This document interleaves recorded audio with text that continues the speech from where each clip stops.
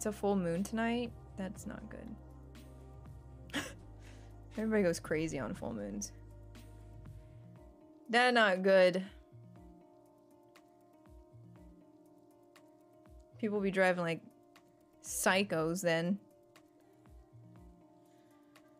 Baby portobellos? No. Cremini mushrooms are a totally different mushroom. People be driving wild on full moons. Mm-hmm.